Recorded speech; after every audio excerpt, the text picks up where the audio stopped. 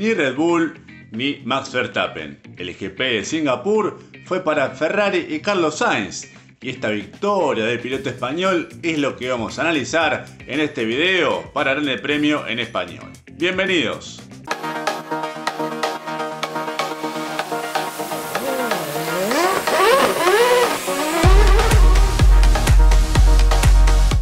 Fueron en total 16 victorias al hilo, contando el GP de Abu Dhabi 2022 hasta el GP de Italia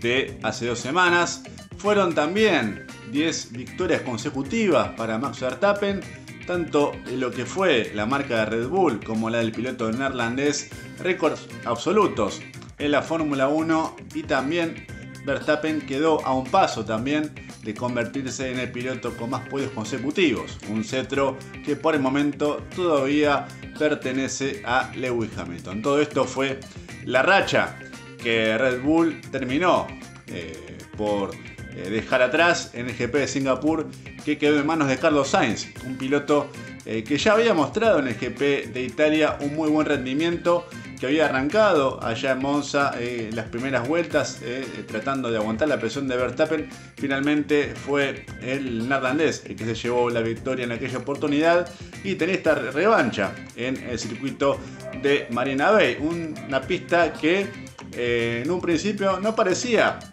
ser la más adecuada para la SF23, un, un, auto que se maneja muy bien en rectas, pero que en circuitos lentos como eh, el de Singapur parecía que podía ser un poquito menos fuerte. Sin embargo, eh, Ferrari eh, sorprendió liderando los primeros tres entrenamientos. El primero con Leclerc, el segundo y el tercero con Carlos Sainz. Y si bien el auto de Ferrari arrancó con muy buen potencial, fue un gran contraste lo que sucedía con el RB19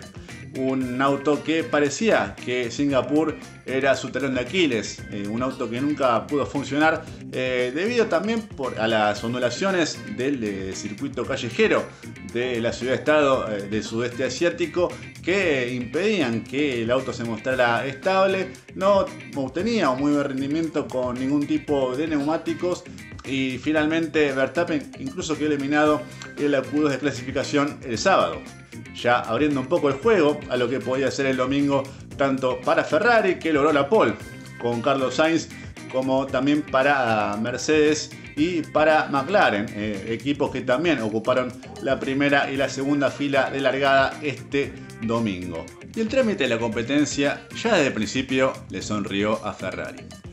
Carlos Sainz pudo mantener la punta eh, incluso Charles Leclerc, que salió con goma blanda, pudo dar cuenta de George Russell que había partido de segundo lugar. Y después eh, una maniobra de Lewis Hamilton que eh, hizo la primera curva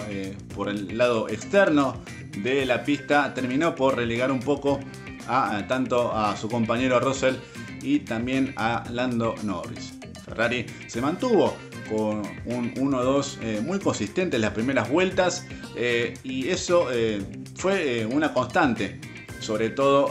hasta que hubo la primera neutralización, producto de un despiste de Logan Sargent en la vuelta 20 que provocó que eh, casi todo el parque de la Fórmula 1 entrara a boxes, con excepción de los pilotos de Red Bull que recordemos habían empezado eh, bastante retrasados. En el caso de eh, Max Verstappen habían arrancado en el décimo primer lugar, había avanzado hasta el octavo puesto, pero que igualmente no mostraba el ritmo de otras competencias. la táctica de Red Bull fue no entrar a boxes con esa neutralización y de esta manera llegó a estar segundo detrás de Sainz, pero claramente con un ritmo inferior, con goma gastada y eh, lo que provocó que en varias vueltas después fuera superado sucesivamente por otros pilotos. La táctica de Red Bull en ese momento fue esperar que hubiera una bandera roja, una nueva neutralización que le permitiera volver a arrancar la carrera con neumático fresco teniendo en cuenta que Singapur es un circuito eh, muy complicado, con muchas eh, neutralizaciones por accidentes, pero que esta vez eh, no, no, tuvo en las vueltas siguientes una de estas, uno de estos problemas ¿no? en pista, por lo que Red Bull terminó yendo finalmente a vos hacia vuelta 40, terminaron muy atrás en esa oportunidad y después Bertrand pudo remontar hasta el puesto 5, pero sin duda es una carrera que fue para el olvido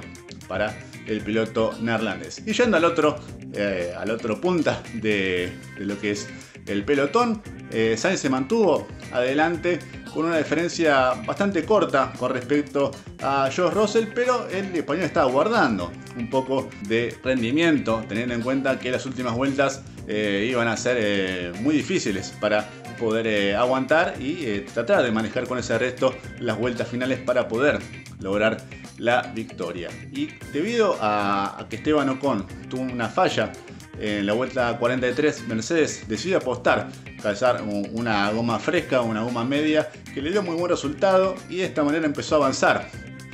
con el fin de poder superar a Sainz en las últimas vueltas. Primero dio cuenta de Charles Leclerc, con Russell y con Hamilton. Y en las últimas vueltas Sainz elaboró una estrategia muy interesante, muy muy buena, un piloto que quizás en otros momentos de su carrera eh, tuvo quizás algunos errores, eh, momentos de mucha presión, pero esta vez manejó de manera magistral el fin de esta competencia al dejar entrar a Lando Norris en el tren de DRS e imposibilitar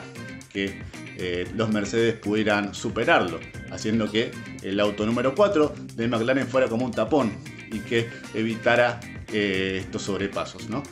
Primero fue Russell el que intentó, se equivocó, terminó contra las barreras de contención y Hamilton eh, con muy poquito tiempo disponible no pudo hacer ningún tipo de sobrepasos. De manera que Carlos Sainz ganó su segunda carrera en la Fórmula 1 de manera magistral, fue el mejor piloto de todo el fin de semana y todos los, todos los tifosis están festejando. Chapó Carlos por este triunfo inolvidable en GP de Singapur. Si te gustó este video dale like, deja tu comentario y hazle clic a la campanita para no perderte ningún video del Grande Premio en español. Un abrazo.